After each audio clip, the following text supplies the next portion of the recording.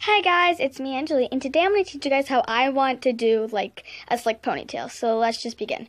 So first off, you're going to take your brush and you're just going to brush it out until it's completely straight and yeah, so and don't you don't have to make it completely straight, but I'm just saying that you want it no knots in there. And look, I'm like saying purple hair because I'm really happy that I have purple hair.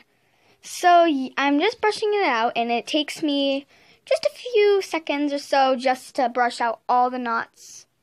And now I'm going, I said, like, try to make it as straight as you can.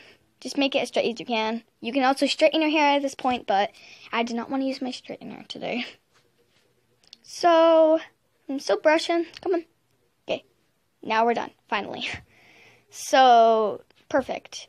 Now you're going to take your brush and just slick it off to the side. This is kind of like a JoJo Siwa tutorial.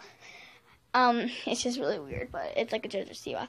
Then you want to spray your hair with hairspray, so it's kind of like sticky and it's like easy to use.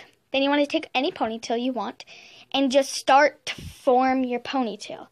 Start to move it up, start to move it around, and then start slicking it a little more so with your brush so then it's a little like more slick and tight.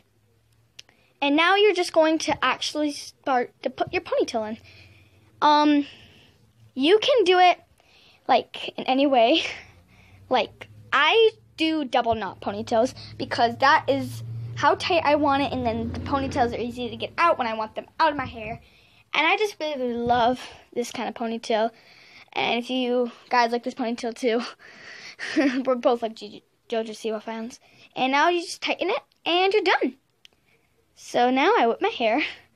And yeah, so this is just a fun way to make your hair into a slick ponytail. And now I'm just messing around. So yeah, this, that's